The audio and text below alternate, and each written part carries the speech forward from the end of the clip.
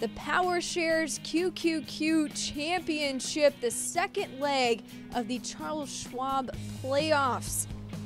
And this is the first round on Friday. Kevin Sutherland, check out this, his second shot on the ninth hole. How does this not go in? That's a tap in birdie for Sutherland.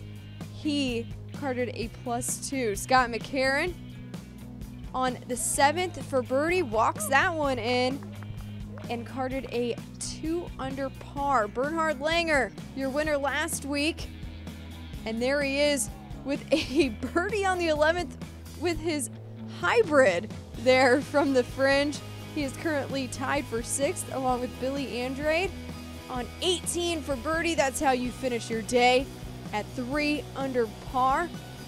John Daly also on the 18th, finishing strong with a birdie. That got him to three under par as well. We had a couple odd shots today. Check out Miguel Angel Jimenez.